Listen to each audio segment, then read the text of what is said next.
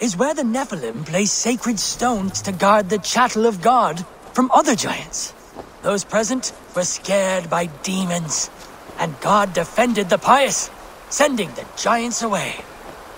Only these holy reverberations remain. The work of good souls who have the earth in their heart will forever be.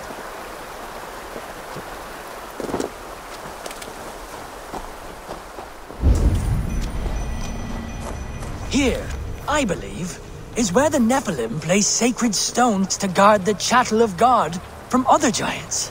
Those present were scared by demons, and God defended the pious, sending the giants away. Only these holy reverberations remain.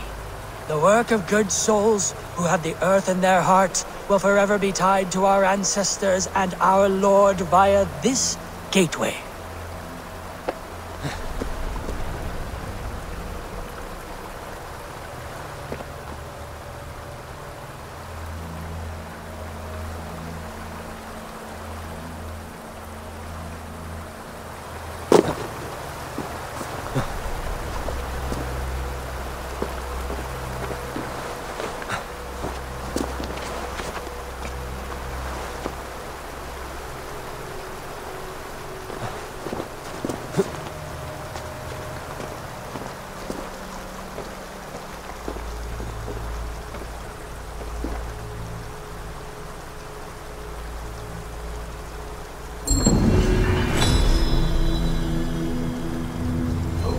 strange energy here.